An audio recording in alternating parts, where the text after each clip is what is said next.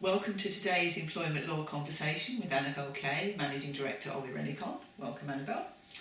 Today's segment has the intriguing title of Raising the Bar.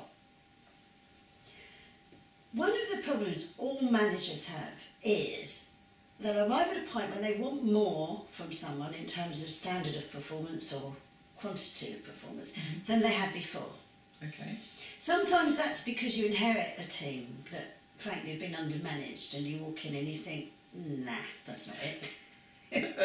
We're we're not working part time around here anymore. Sometimes it's because the people have reached a stage when they really need to go on and do more. Mhm. And sometimes nobody needs it, but you all have to do more with less, which is very common now. Yes, indeed. Um, all of these processes I call raising the bar because what you're saying is success used to be here, but from here on in, it's there. Okay. So um, we learned it years ago in show jumping. As soon as you jump four foot six, you know what they do? They raise the bar. Um, most managers have no process for doing that. So if you just do it in your own mind, Mhm. your staff can feel incredibly pressurised. Or if you just announce, do you know what? Everybody's got to do twice as much as half as much. It's not the greatest motivating No. speech in the world.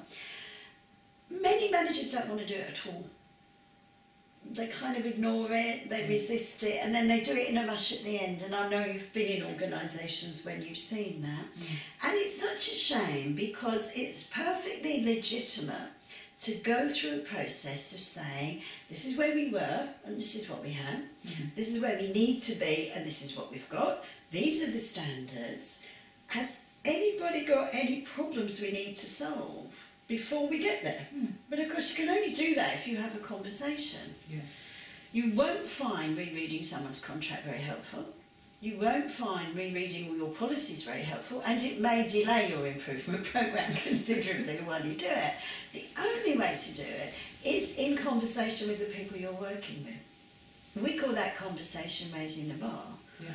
and we structure them all the time because it's not just about aspirations. Wouldn't it be nice if there has to be measurement and, and resources? It's a bit more to it than that. Mm. But people need to know it can be done, and it mm. can be done nicely, mm. and it can be done effectively. Mm. You don't have to just yell at people and think this ain't it. But if you're having a this ain't it moment, we really do need to have a conversation. Thank you for joining us for this conversation. Look forward to connecting with you again next time.